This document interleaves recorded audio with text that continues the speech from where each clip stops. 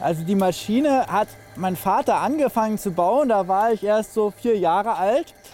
Und er hat dann so 20 Jahre lang immer mal wieder dran gebaut, nach dem Gussteilesatz vom Herrn Wittmann.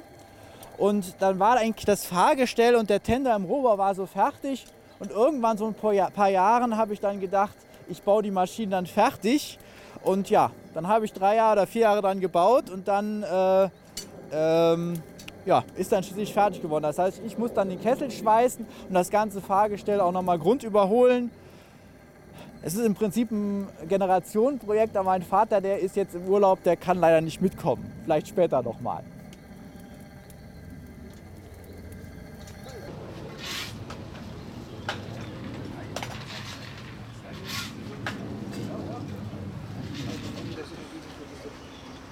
Ja, schon. Bis vor einem Jahr gab es in England so eine Firma, die wieder Fräsverfahren. Die musste leider zumachen. Jetzt bleibt dann nur selber ätzen. Ja, oder wie gesagt, klar, fräsen. Ich müsste mal gucken. Also prinzipiell, wenn das jetzt nicht so eine Arbeit wäre, das Programm zu schreiben, meine Maschine wird das machen. naja, für den Fall das nicht. Jo. Warum nicht? Beziehungsweise ich habe ein Auto, habe ich äh, acht, habe ich zwei Zellen Dipos, das geht auch. Ja, gut, ich sage, also das ist kein Argument, aber jeder Kabel ist groß. Raus, wenn man das will. Ich habe Nur das Problem ist, ich habe nicht vor, die ganze Zeit zu fahren. So, und weil, Ja, wofür bist du denn hier? Nein. Willst du nur Gleisen lagern? Nee. Reinschauen. Füße zum Auswechseln gemacht. Also das, in, mein Vater hat... Das war es noch nicht.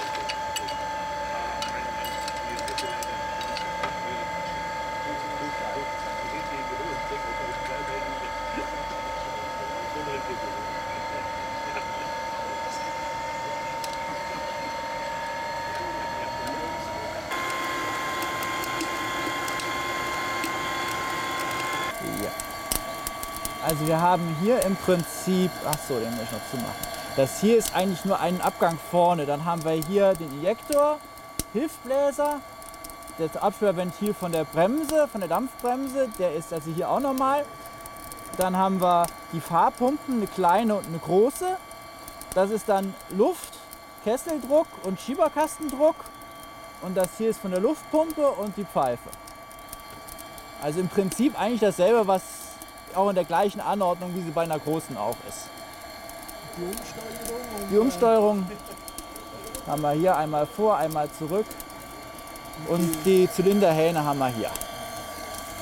Und klar, Regler, Feuertür ist klar und der Aschkasten, der hat hier unten seinen. Ups. Hat das eine Dampfbremse. Ja, die Dampfbremse haben wir hier einmal hier. Auf zu. Und ja gut, sieht man jetzt nicht. Hier ist noch von, der, von den Laternen die Schalterchen haben wir auch noch. Und hier unten ist noch der, äh, ist der Öler, den habe ich hier ins Führerhaus gesetzt, damit er mir nicht vorne auf dem ähm, Laufblech rumsteht.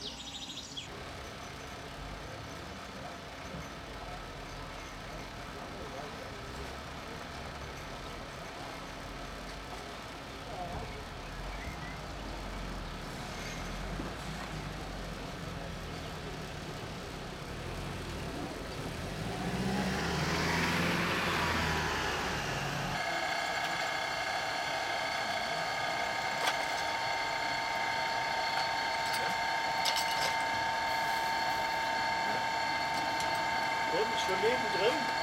Nur ein bisschen. Ist Eins.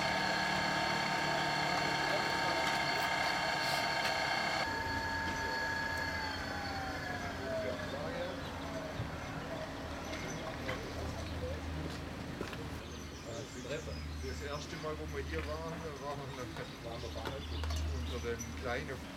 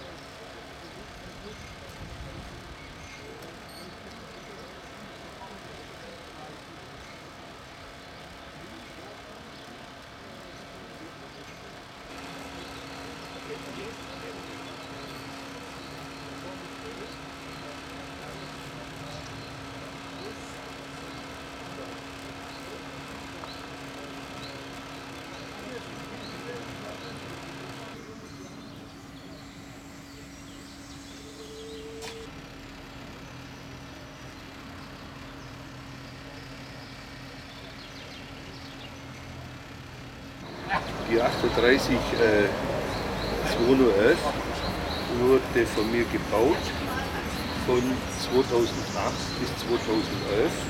Das 2011 steht fürs Baujahr. Die hat es aber auch in Wirklichkeit gegeben, die Nummer. Und von der 38er, von der Baureihe 38 wurden ca. 4200 Loks gebaut äh, und eingesetzt. Äh, momentan weiß ich nicht genau, wie viel das noch äh, als Museumslok in Betrieb sind. Ich weiß von drei Stück. Ja, ansonsten ist da nicht mehr viel zu, nicht viel zu sagen.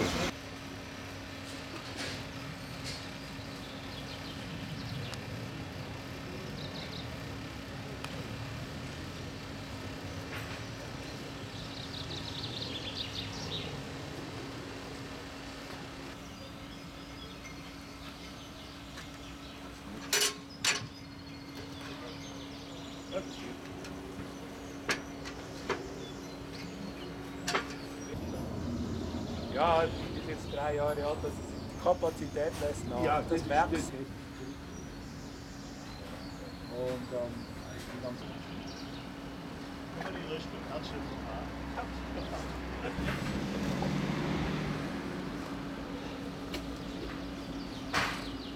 Ja, hier haben wir die Dampfpumpe.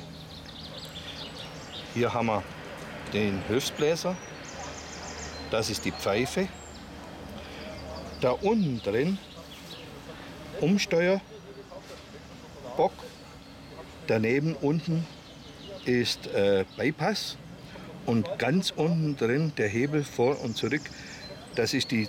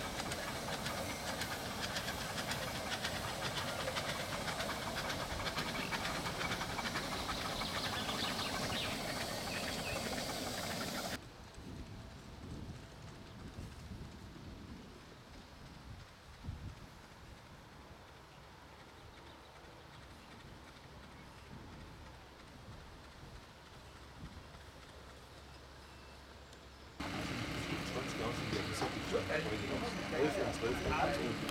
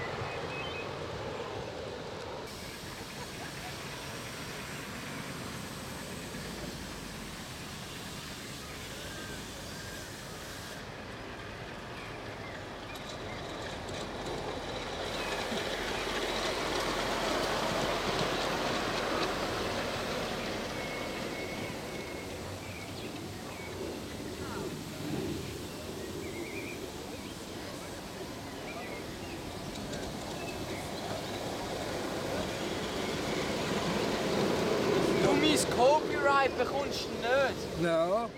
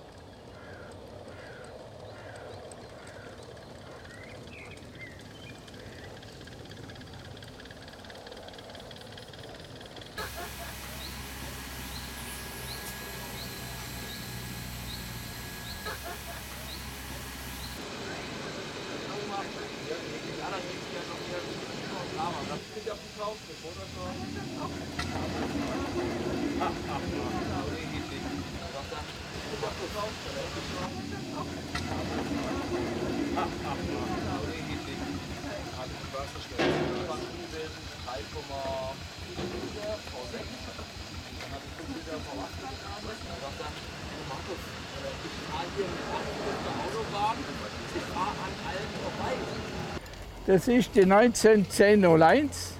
Das ist ungefähr Baujahr 4042. Ist von Henschel in Kassel gebaut worden als Dampfloko mit Einzelradantrieb. Es sind auf jeder Achse, auf jeder Achse sitzt ein Motor, zwei auf der Seite und zwei auf der Seite. Und äh, der Vorteil von dem Ganzen war halt das, der Lauf von der Maschine beträgt viel weniger Vibrationen wie von einer Hubkolbenmaschine, weil durch eine Hubkolbenmaschine durch die äh, Bewegung vom, äh, von den Stangen und so weiter gibt es Unwucht und da gibt es auch Vibrationen auf die Maschine. Und die Maschine ist wirklich störungsfrei bzw. Äh, vibrationsfrei gelaufen. Und äh, sie hat am Anfang Schwierigkeiten gemacht. Es ging nicht so, dass sie von Anfang an alles, alles gut war, sondern das Problem war immer mit dem Feuer. Durch die vier Dampfmotoren ist der Saugzug im Kamin nicht so gewesen wie bei einer Zweizylindermaschine. Und äh, da wurde noch viel experimentiert, und zwar mit Bläser, Durchmesser und so weiter bis es zum Schluss nachher doch geklappt hatte. Und die Maschine wurde dann im Liniendienst eingesetzt, und zwar zwischen Hannover und Hamburg. Da ist sie im Liniendienst gelaufen. Und nach dem Krieg, sie wurde im Krieg schwer beschädigt, der Tender und die Lokomotive, die ganze Verkleidung wurde durch Bombenabwürfe und so weiter beschädigt.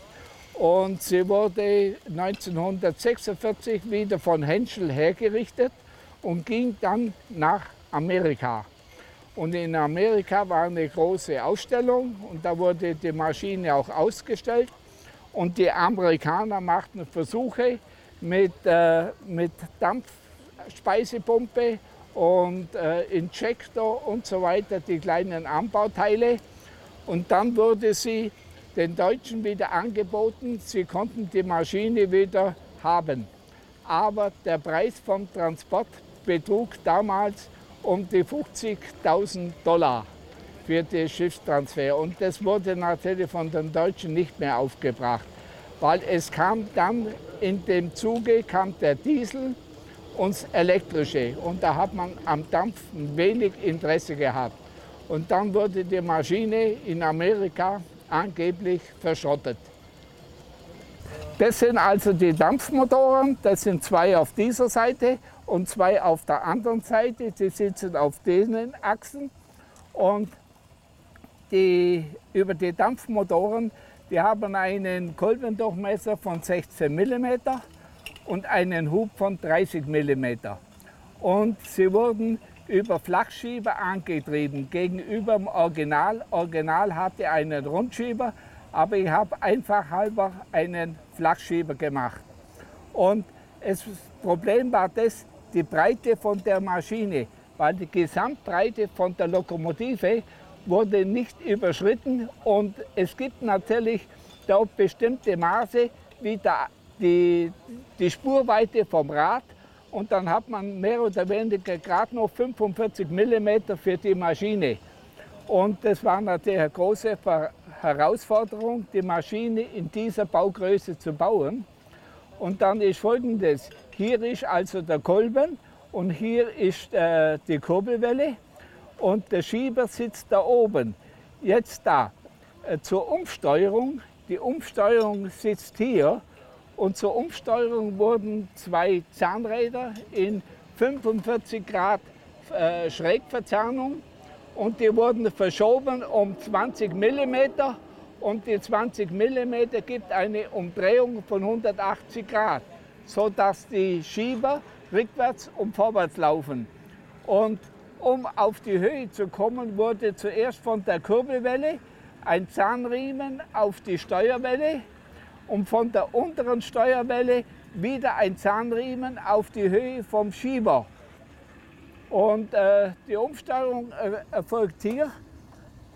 Hier ist noch ein Schieber und der schiebt noch das untere Zahnrad äh, um 20 mm auf die Seite und da gibt es dann eine Verschiebung vom Schieber um 180 Grad.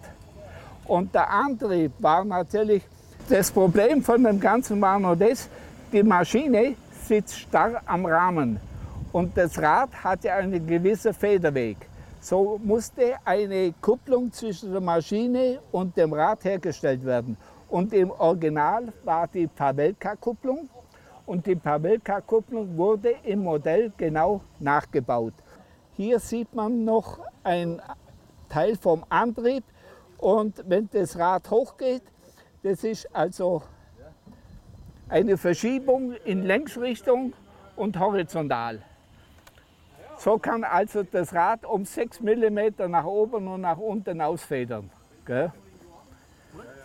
So sieht man jetzt den Schieb, das Schiebegehäuse und den, der Flachschieber wird über die äh, Kurbelwelle, über einen Zahnriemen von der oberen äh, äh, äh, von dem oberen Zahnrad nach unten wieder übertragen und so wird die, die Schieberwelle um 180 Grad wieder verschoben, so dass die Maschine also rückwärts wie vorwärts läuft.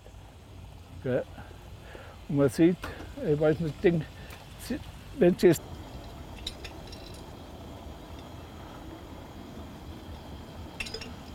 Jetzt warte mal, schalte mal ab. Dann tue ich vorwärts, vorwärts und dann tue ich den Hebel nach oben und jetzt ist Rückwärtsfahrt. Siehst du, wie der Schieber hin und her geht. Gell?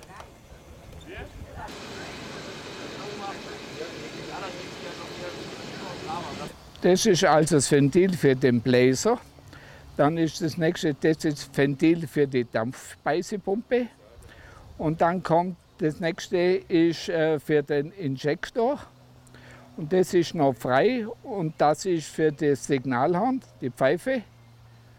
Und das sind die Absperrventile vom Wasserstand. Hier und hier. Das ist also das Abschlammventil, so kann ich das Wasser ablassen und kann so wieder zumachen. Ja. Kasten öffnen und die Asche rauswerfen. Gell. Das ist also der Feuerrost.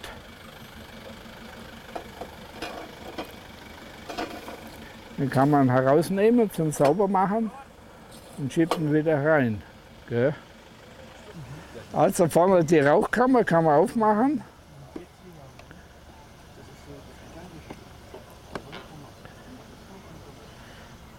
dann kann man hier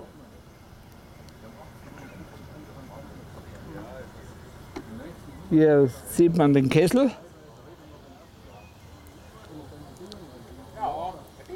Ja. Siehst du was? Gell? Machen wir wieder zu.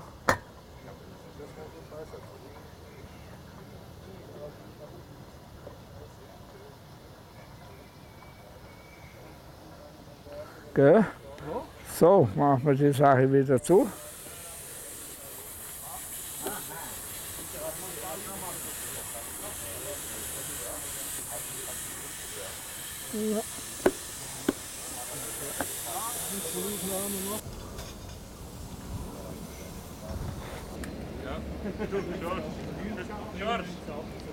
Das ist der sogenannte Öler für die Dampfpumpe. Die braucht ja auch, die hat ja auch Kolben, muss sich bewegen und die braucht auch eine Schmierung. Und das ist das Typenschild vom Kessel. Der Kessel ist vom TÜV abgenommen und äh, ist aus rostfreiem Stahl, sodass also von der Korrosion her kein Problem geben soll.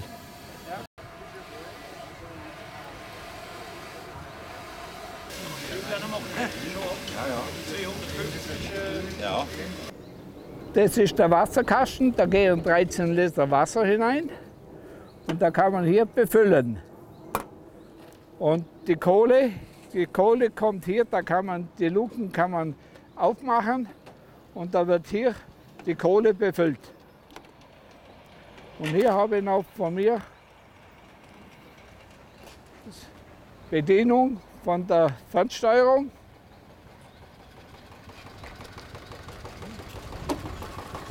Da kann man also diese Werkzeugkäste kann man auch noch aufmachen und befüllen.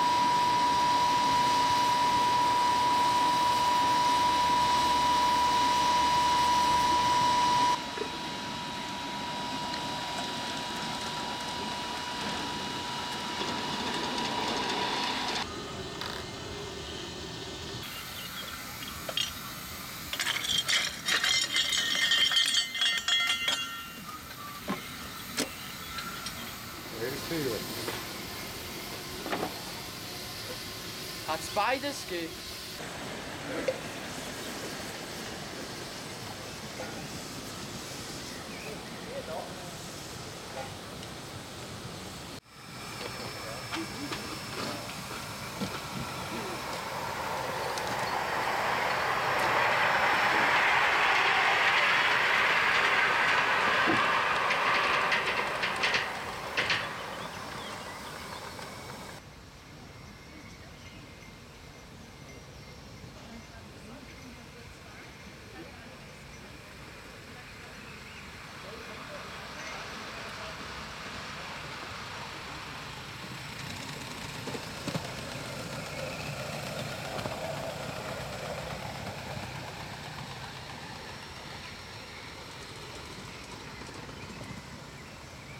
Ausschlaggenfahrt. Nur zur Information.